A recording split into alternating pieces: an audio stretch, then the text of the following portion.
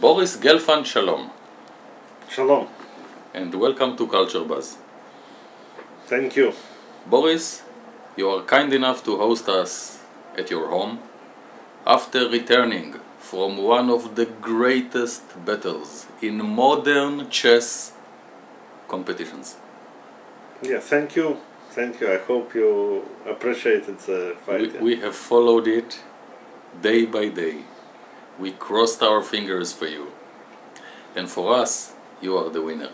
Thank you. Thank Although you faced the great Anand, you. Yeah. and you are now a great honor and very uh, rightfully the world deputy champion of the world. How does it feel, Boris? Well, it feels great, but of course, okay, I was so close to win the match, but it's not like one match. It's like a summit of many years uh, career. I went for it. I went to quarterfinal, to semi-final.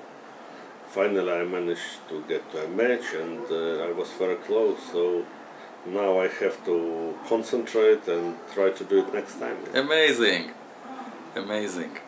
And it was indeed a very special competition. We remember, for example, that it opened with a series of ties, of Yeah. draws. Yeah. It seemed like you were even in your abilities. No, of course, this uh, kind of match is very uh, even, and uh, especially both of the players devoted a lot of their time and energy for the last, let's say, half a year. The only thought both of us could have it's about the match and uh, big amount of preparation. So it was difficult to get an initiative. And it's a battle of the minds. Yeah, it's a battle of the minds, it's a battle of the characters, it's a battle of uh, attitude, it's a battle of preparation. And the surroundings, this beautiful gallery in Moscow. Yeah, How was it for you? It was very impressive, especially I was uh, uh, brought up in Soviet Union. I spent first 30 years, so this museum it's uh, one of the uh, symbols of Russian culture. And uh, of course, when I was a kid, I was uh, visiting this museum many times. So it was like a dream come true to play in such a beautiful museum, surrounded with such uh, famous pictures. And we are now uh, enjoying the London Olympics. Yeah. and we appreciate very much the efforts by all the athletes. And when I think about chess, your world, Boris, for quite a few years now, it requires lots of strength, both mentally and physically.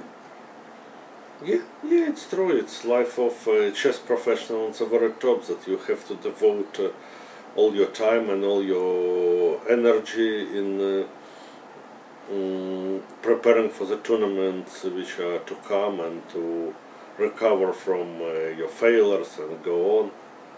It's uh, it's uh, very similar to other sports, but it's uh, different in a way that uh, it's uh, a lot of mental effort also.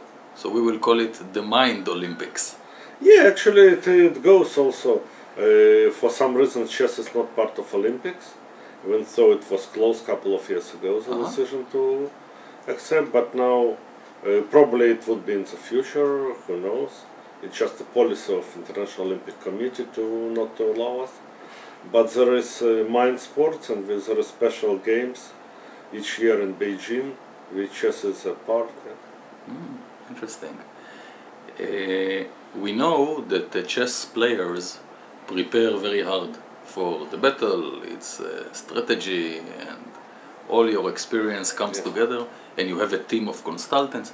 But when it comes to the game, you are there alone, Yeah. basically. How do you how do you handle this pressure? Well, it uh, comes with experience because uh, if you speak about me, it's like around 30 years experience. But uh, it's more or less normal. I was uh, have some good friends who, who are top level musicians, and they say it's the same. You You study, you train each day with a violin, and uh, when you go to a concert, it just gives you an abi- different abilities. You are ready for everything. Very similar in chess. You prepare to be ready for different uh, change of events and different course of the game to be able to handle it well. And in addition to all the pressure and the uh, strong effort, unbelievable effort to win this prestigious title, one of the most prestigious Yeah. in the world, Yeah. the World Chess Champion. In addition to that, you find yourself, if you want to or if you don't want to, representing your country. Yeah, of course. Does it make it easier or more difficult? No, it just gives uh, extra positive emotions. So, what, what did it mean for you, Boris Gelfand, who came to Israel as a new immigrant a few years ago? No, it gives uh, very good feelings that uh, you probably you can see on the internet the op- uh, magnificent opening ceremony of the match, and uh, we hear Hatikva and uh, and Israeli flag all over, and uh, in center of Moscow, Israeli flag was uh, in front of museum for whole month. So it gives a very good feeling to represent your country, your country. Boris, now you are the deputy uh, world champion in the world of chess. So, the answer to the following question should be easier, easy for you. What can we wish Boris Gelfand in the future? No, you can wish me good luck because uh, in March of the next year uh, it would be a tournament of the eight best players, and the winner would have uh, right to challenge the world champion in the next match. Wonderful. It would be next March in London, uh, March April. So you can wish me good luck in this competition. Of course And we in do. the tournaments to come before. Of course we do, because all you need to do is go one step up. Yeah. No, first I have to win this tournament again. It's Yes. maybe it's even more difficult than to win a match Okay. because uh, qualification is very tough. Eight best players come once. I managed to win in uh, 2011. Hopefully 2013 I'll manage to do it again. I'll do my best and I'll put the effort, uh, all the effort possible. Yeah. And in the circuit of chess, in the Branja, you probably know many of your rivals almost intimately. I know everybody. And know. you know, more important than that, you know the way they play and the way they think. Yeah. It's a bit scary knowing people that intimately. No, it's uh, but it's very interesting because everybody is changing. Let's say same players who is also work constantly, so you have to be very mm, quick to think because uh, ways they were playing a year ago, maybe this year they changed their attitude and they change. Ah, okay. You have to notice every little detail, and even so, let's say with Anand, uh, I played all in all maybe around 100 games Wow. in my career. First was in 1989 when we were juniors, but uh, still for this match I have to uh, look in you for all his career and all my career to see what's his attitude nowadays and what's his weakness nowadays. Amazing. Really amazing. Boris, I wanted to ask you, when you were growing up in uh, Belarus, Yeah, it means in Minsk, uh, and you started playing chess, who were your inspiration?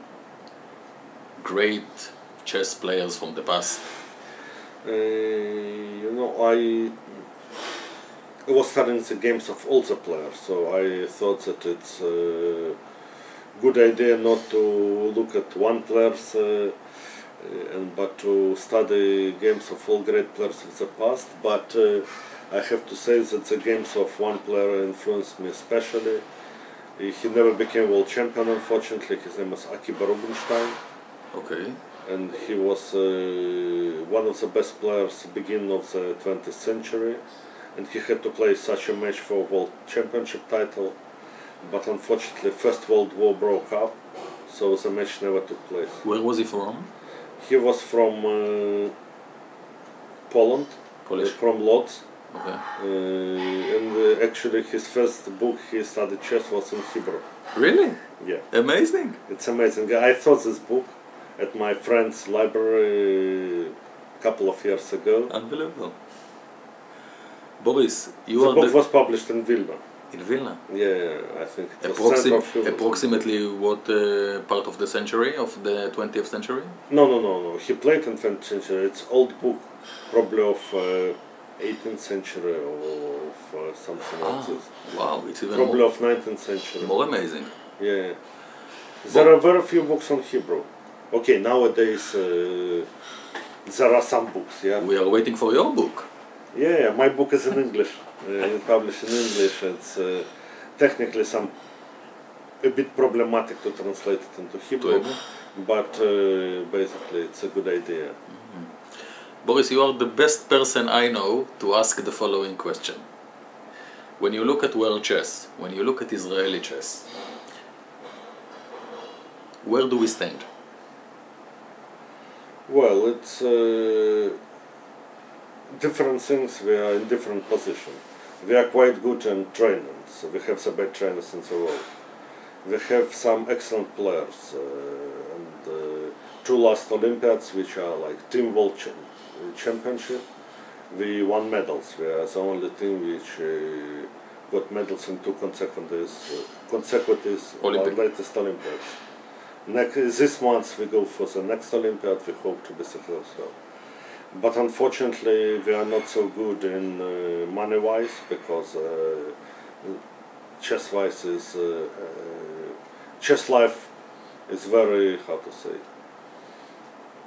We can say poor inside the country. There are no international competitions, almost no. Now it's getting a bit better, but uh, it's be- both because of lack of fundings and because of uh, lack of infrastructure. But I do hope that uh, it would get better, and uh, hopefully that my latest success, which arose uh, big interest, would change the situation and will be one of the uh, power countries in uh, chess, but also organizational wise. And uh, the next question makes sense after your wonderful accomplishment. Do you teach? No, I don't teach because uh, I'm very busy. I'm, uh, you know, to play in such a level requires full dedication, and uh, uh, virtually every day from morning to evening I'm preparing for Wow. the uh, next event, uh, next events. So I don't have time to teach, but uh, fortunately, in, uh, we have a lot of uh, very high-level trainers in the country, both for top level players, for talented juniors, for beginners. So we have very good, uh, in this case, we have very good, uh, uh, very qualified uh, trainers uh, in our Excellent, country. excellent. Is there a logical explanation why there are so many Jewish people amongst the great chess players all throughout Well, history? there, there are different explanations, and uh, one of them that uh, uh, a lot of them come from Soviet Union, where maybe it was one of the few ways for Jewish people to uh, get to the let's say say, top of society. Yeah? Mm. It's uh, but also okay. The, we have uh, almost a centuries of traditions that uh, uh, parents are teaching kids to do something, and this ability to learn and to work to work on something and to specialize on something. It's uh, very useful in chess. Mhm. So it's a combination of mentality and culture Yeah, and, And the- history. and history. and yeah. history. because everybody has different explanation but you see nowadays it's uh, a bit less because probably the world is open to other possibilities And so more people go i don't know to high tech or to some other people don't have patience like they used to No, be, especially the young generation. yeah yeah this is a problem this is a problem But still, the computer can't beat the player. no computer can beat actually Can beat? computer can beat Really? Player, yeah Actually, These uh, are sad news, Boris. it's a very sad thing. Even uh, computer which would play on your telephone will is strong enough, let alone on the average laptop. Yeah. Amazing, amazing. And when you look at the world, at the map of the world, and you are to say or to indicate where are the strongest centers of chess today, bringing up the next excellent chess players, where would it be? It's hard to say because, of course, Russia, Russia is still the center, but you know, world became open, and also thanks to internet, the access to information became possible worldwide. So you can uh, be born in any village in middle of nowhere. Even in India. Even no, in India now, in India it's a boom after Anand. Last ten years, uh, I don't know, millions of kids are playing chess, and uh, parents are doing everything so to make the kids uh, good. Yeah, So this is the Anand effect. Anand effect. And we are waiting to see the Gelfand effect here in Israel. I do hope. I do hope because it happened in many countries through history. So I do hope. First of all, we should see uh, at September in one month how many kids. I'm curious how many more kids would join chess uh, mm, sections and chess uh, trainings. I'm uh, curious, but uh, also it requires a lot of work by sports ministry, by chess federation to organize it Uh, serious investments in infrastructure. investment in infrastructure and uh, to give this uh, kids who would come the best possible uh, trainers to encourage them to stay in chess. But also nowadays trainers have became uh, possible through internet. You can live middle of nowhere and through internet you can have the best trainers in the world. Amazing.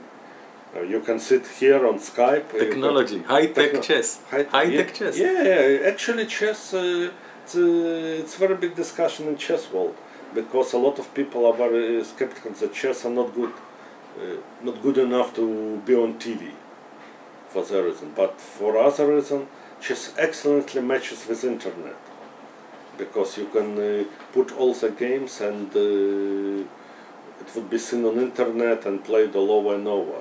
And you can take all the best lessons through internet privately. And you can download the lessons from internet which are available for download. And we were able to watch your fantastic battle live Yeah, live on uh, Facebook.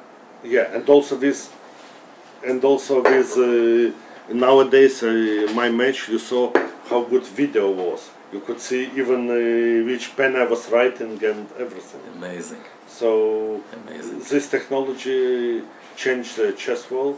Also, you can play with everybody. You can sit here and play with a player playing In Alaska. In Alaska. I don't know in a village in Philippines. I don't know Wonderful. any any any country in the world. Basically, even with the countries with which you don't have diplomatic relation, you can play on internet. Nobody asks what's your name. You simply play. You log in with uh, some nickname. Uh, Chess, chess as a peacemaker. Yeah, it's true. It's true because uh, basically chess world is the one which uh, we doesn't have hostilities and uh, chess game it's kind of the thing which unites people because uh, actually it's the same language. We speak the same language. Boris, this has been a special treat talking to you, listening to you. I want to wish you all the best in the next competitions.